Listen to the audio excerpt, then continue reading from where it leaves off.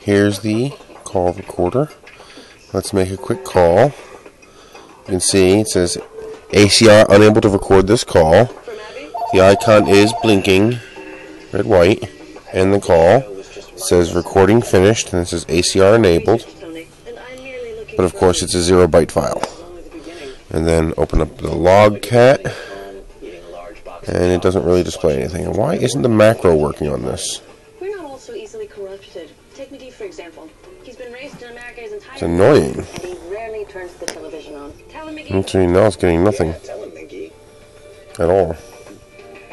There it goes. That's it. Input event receiver, nothing.